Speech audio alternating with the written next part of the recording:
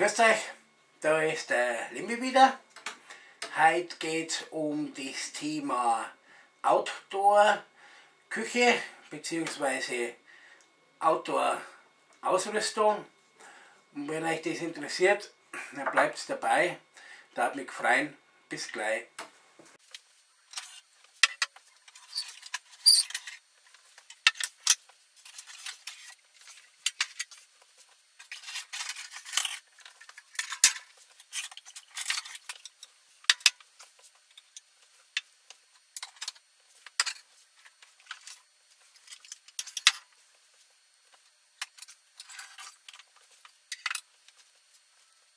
So, das sind meine zwei Kochteller. Dies ist nur aus meiner Bundeswehrzeit. Unzerstörbar dieser Teller. Hat einen Durchmesser von 21 cm. Spülmaschinenfest und hat ein Gewicht von 53 Gramm. Das wäre dann die vornehmere Ausführung, 130 Gramm. Und ich habe da einen Deckel, dass mein Gericht äh, kurzzeitig warm bleibt. Und habe da drei verschiedene Ab Abgrenzungen. Und ja, der hat jetzt 24 cm. Ich tue euch dann immer wieder mal äh, kurze Videoabteilungen einblenden, wo ich diese Töpfe, Pfannen, Tassen und so weiter äh, dann euch im Praxiseinsatz zeige. So, als nächster haben wir da das gute alte Bundeswehr Kochgeschirr. Das wird dann mit einem Riemen fixiert.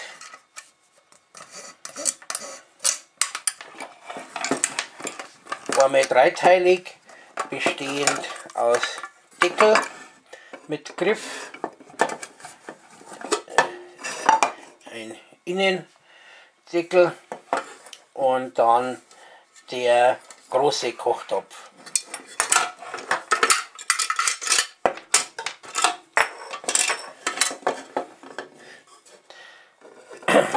So, da sind jetzt da so Öffnungen. Das heißt, ich kann jetzt das so reinführen und so war quasi die Handhabung bei der Bundeswehr bei der Essensausgabe. Dann hat man in diese drei Töpfe das Essen reintun können. Das Ganze ist in Nierenform. Ja, wenn man das quasi am Mann hinten am Koppel getragen hat, dass diese Vertiefung dann besser am Körper anliegt. Ja, und von der Größe her, das ist 17 cm hoch und 17 cm breit und einen Durchmesser von 10 cm.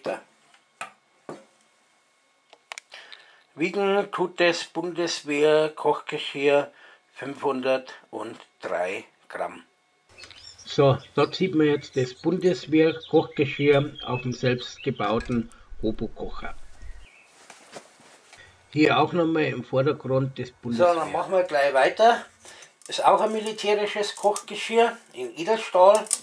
Das ist von der US Army. Bestehend zweiteilig. Einmal dieser Pfanne mit Henkel und dieser Teller. Und das, beim Essen wird das quasi unten in den Henkel so rein.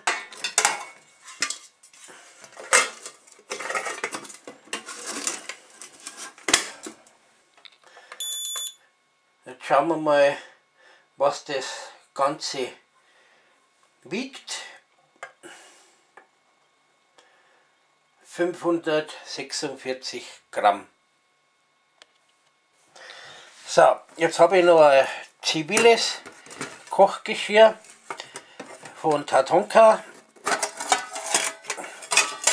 Es besteht einmal aus einem Teller oder Deckel, dann einen Topf mit Deckel und einer Pfanne mit Henkel. Das Ganze ist aus Edelstahl.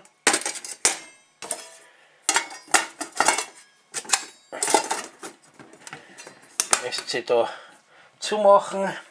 Jetzt schauen wir mal, was das ganze Teil wiegt. 458 Gramm und von der Größe her ist es 16 cm und von der Höhe her 5,5. So, da sieht man den kleinen Kochtopf mit dem selbstgebauten Spirituskocher. Und da mache ich mir einen Erbseneintopf mit dem Esbitkocher.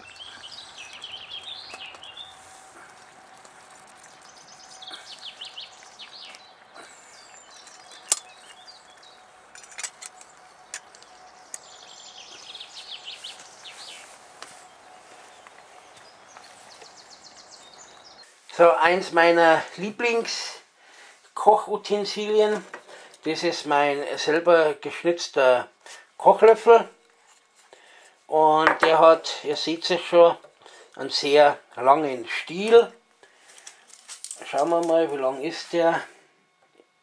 Der Kochlöffel ist also 46 cm lang und der ist deshalb so lang geschnitzt, wenn man am Lagerfeuer kocht, dass man also zum Topf umrühren hinkommt, aber sie nicht so schnell äh, in die Flammen äh, reinlangt. Hinten habe ich ein Stück Paracord und da habe ich äh, Draht umwickelt, weil ich den Draht äh, meistens dann hernehme, um das Dreibein oben, wenn es aus Holz ist, äh, dann oben den Draht rum und somit habe ich das dann oben fixiert und wenn ich den Topf dann einmal runter tue, und die Flamme ja dann doch höher steigt und mit Paracord könnte man es eben abbrennen und mit Draht äh, ist das dann kein Problem. Jetzt kommen wir zu meinen verschiedenen Pfannen. Das ist einmal die erste Pfanne. Da kann ich den Griff rauf und runter machen. Dann geht er praktisch in den Rucksack rein. Jetzt schauen wir mal, was die Pfanne Gewicht hat. Die hat 232 Gramm, ist also eine beschichtete äh, Aluminiumpfanne. Und da sieht man schon, dass der also für Flammen gedacht ist und durchaus aber auch für E-Herd und ich habe die recht gern dabei, wenn ich Kleinigkeiten mache, weil die ist nicht besonders groß ja, 21 cm Durchmesser und hoch ist die 4 cm. Also wenn es leicht sein soll und äh, nicht groß, dann habe ich die gern dabei. Die nächste Pfanne ist dann schon etwas größer. Da sind wir jetzt bei 24,5 ist beschichtetes Edelstahl und da habe ich mir den Griff Bohrungen gemacht und äh, da habe ich dann äh, Flügelschrauben und kann das dann quasi im Rucksack kleiner transportieren und wenn ich draußen bin, montiere den Griff hin.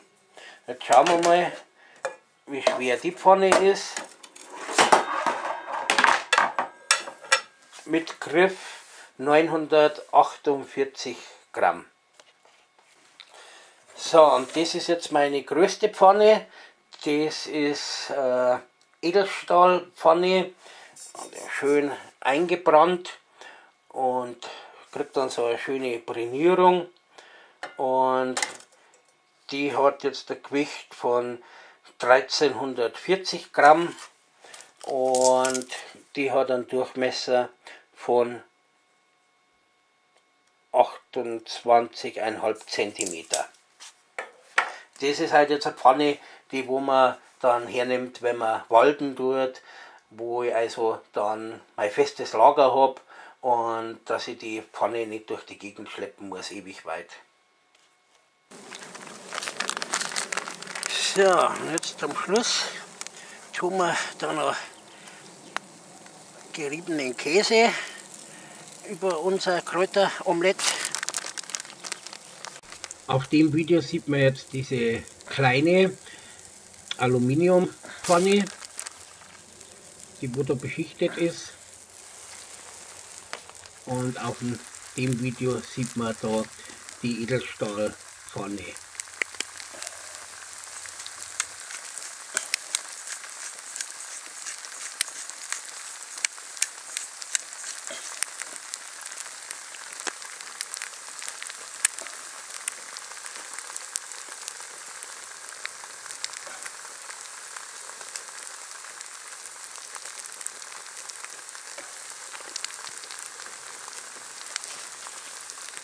So, kommen wir zu meinen Kochtöpfen. Das ist jetzt ein beschichteter Aluminiumtopf oder brünierter Aluminiumtopf. Hat einen Durchmesser von 21 cm und eine Höhe von 9 cm und hat ein Gewicht von 672 Gramm. Und ich habe mir den Topf ein bisschen abgeändert, habe da Bohrungen und Kerben neu gemacht und kann da quasi den Henkel anbringen und kann ihn somit auch am Lagerfeuer verwenden. Und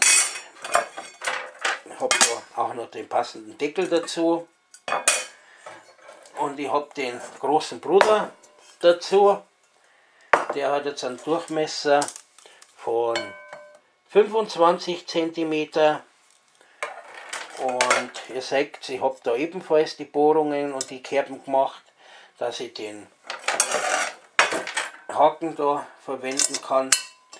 Und schauen wir was der wiegt. Der wiegt 1099 Gramm. So das ist jetzt der mittlere Kochtopf mit Deckel und da gibt es gefüllte Paprikaschoten.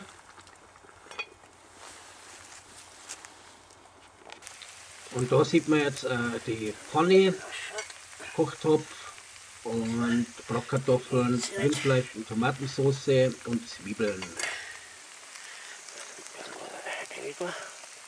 Kommen wir zu den Schüsseln, die wo ich gern draußen dabei habe.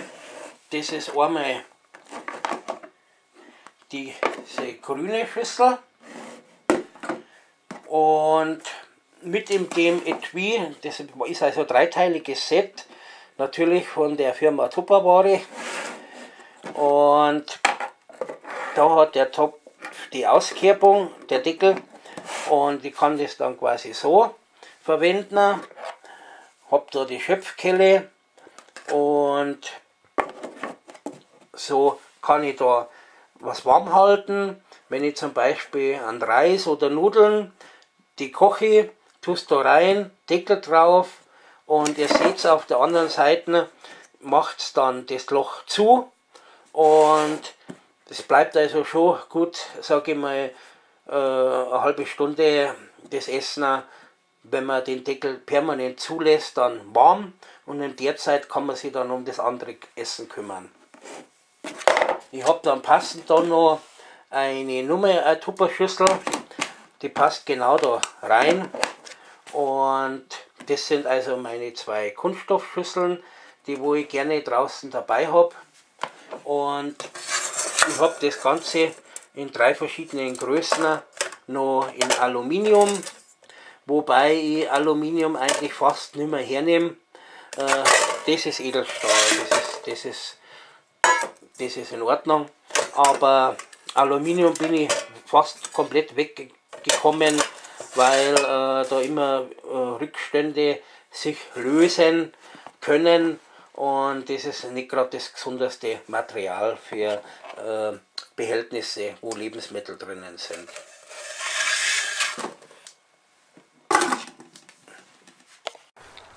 So, da sieht man jetzt, wie die Schüssel für einen Hefeteig benutze.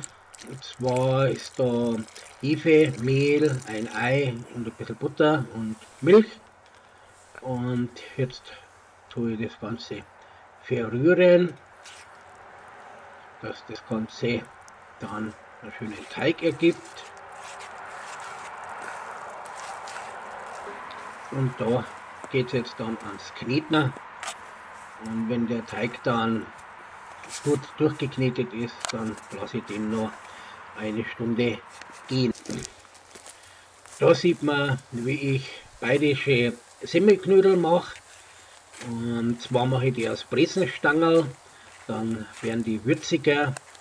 Und da ist jetzt äh, zwei Eier sind da drinnen, Schnittlauch, Salz, Pfeffer, Paprika und alles gut durchkneten.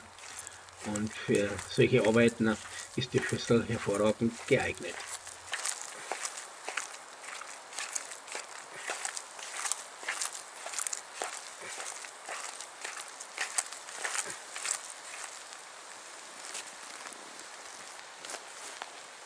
So, da habe ich dann noch, äh, wenn ich mit die Pfannen koche, einen äh, Schaber oder Wender, auch aus Holz.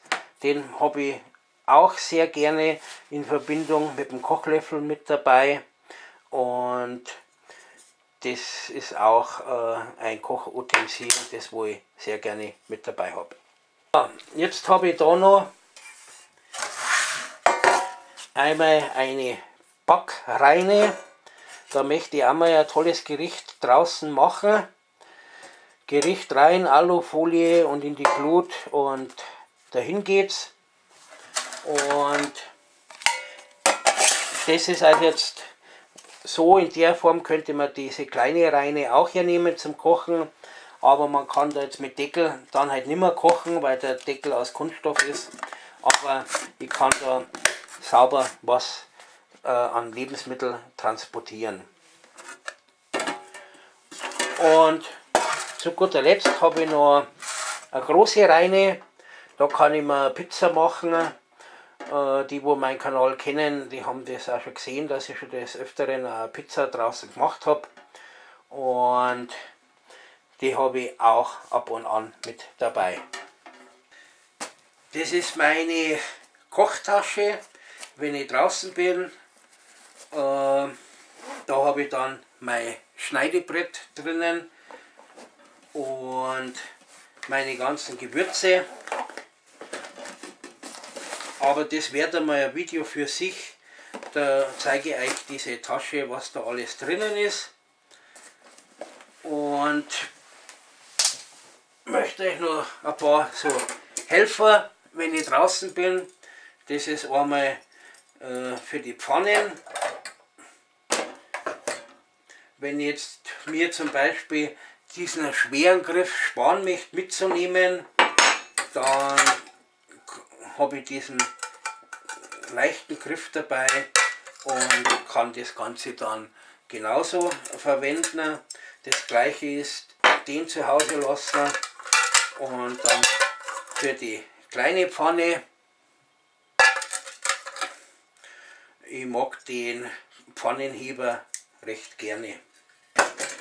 Und dann habe ich noch so ein Helferchen gern dabei. Und zwar mache ich sehr gerne draußen Bratkartoffeln. Und mit dem geht es ruckzuck.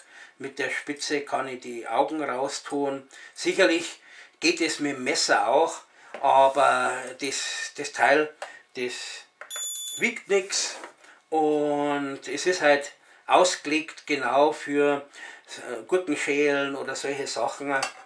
Da, der hat 39 Gramm und den habe ich auch bei meinen Kochutensilien immer mit dabei. Und da habe ich meine äh, Kaffeekanne für das Lagerfeuer. Die habe ich auch, äh, wenn ich walden tue, dann habe ich die dabei. Äh, auch wenn man mehrere Personen ist, weil da geht ja doch äh, fast eineinhalb Liter rein und zum Kaffee machen perfekt. Innen drin emailliert, also ich mag das Teil recht gerne. Ja, hier sieht man meine große Kaffeekanne auf dem Dreibein. Ja, und im Winter habe ich dann gern diesen äh, Becher to go dabei. Der ist quasi isoliert, da ist eine Dichtung, Kaffee, heißen Kaffee oder Tee rein, kann da zumachen oder aufmachen. Und habe da also im Winter dann mein Getränk äh, isoliert und kann das also dann heiß trinken.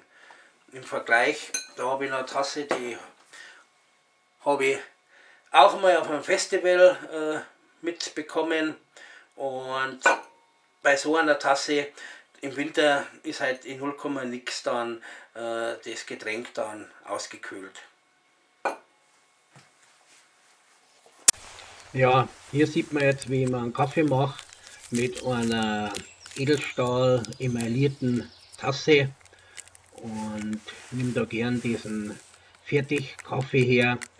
Es sei denn, dass ich dann meine Biglietti, meine italienische Kaffeemaschine dabei habe, dann gibt es einen guten Espresso-Kaffee.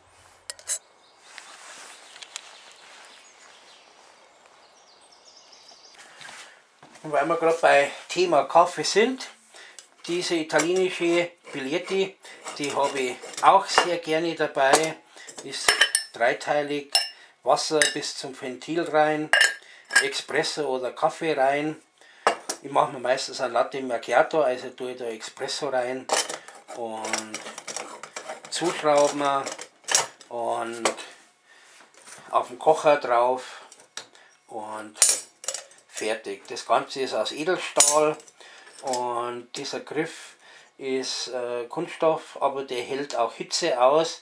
Ich habe da wirklich das Teil schon in die Flammen drin stehen gehabt. Also ihr seht, da ist noch nicht großartig was passiert, dass dem verbrennt wäre oder so. Also es funktioniert sehr gut. Ja, hier sieht man jetzt, wie die Billette auf dem Spitkocher kochen tue und da sieht man jetzt, wie das Ganze kocht und schön der Kaffee da oben raussteigt. Es gibt da dann einen leckeren Espresso und aus dem mache ich mir dann einen Latte Macchiato.